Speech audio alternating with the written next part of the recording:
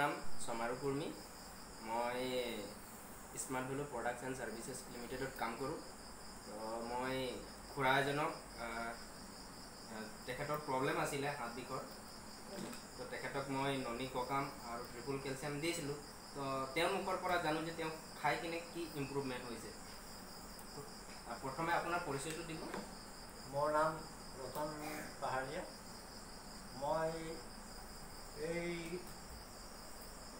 তিৰপুল calcium এই তেওঁৰ পৰা লৈছিলোঁ মানে হেৰি নাম কি? চমাৰু। এই চমাৰু চমাৰু কুৰ্মীৰ পৰা মই এই তিৰপুল কেলছিয়ামখন মানে মই গাঁঠিৰ কাৰণে লৈছিলোঁ এই গাঁঠি গাঁঠি বিষ কৰিছিলে। মই গাঁঠি বিষ কাৰণে মানে এই তিৰপুল কেলছিয়ামখন মই মই ব্যৱহাৰ কৰিব বুলি ক'লে কি যে কৰিব বুলি কৈছে। কিন্তু তাৰ পাছতে মই মানে বিশ্বাস কৰা নাছিলোঁ। কিন্তু পাছত মই এইখিনি যেতিয়া কৈছে যে এইখন খালে ভাল হ'ব। কিন্তু পাছত মই এইখন তাৰ তেওঁৰ কথা মানি মই যিখন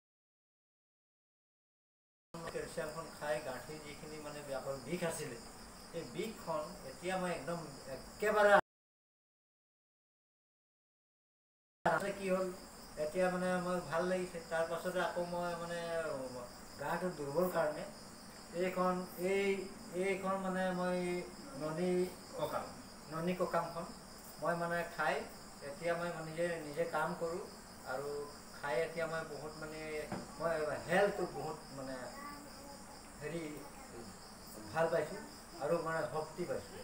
গতিকে এইখন খাই মই ভাল পাইছোঁ গতিকে ৰাইজে যদি হয় তো ৰাইজে মানে অনুগ্ৰহ কৰি এইখন খওক। আপোনালোকে যিখন যদি এইখন খাওক আপোনালোকে শক্তি পাব আৰু একদম আপোনাৰ নিজৰ চৰিত্ৰখন অলপ ফূৰ্তি লাগিব হাঁহিব পাৰে তেনেকৈ মন যাব।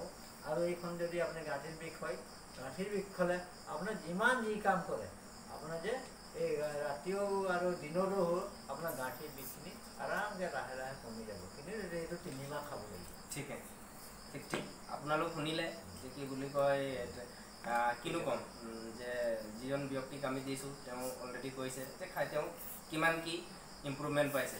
তো এয়াই ক'ম যে কি স্মাৰ্ট ভেলু নম্বৰ ওৱান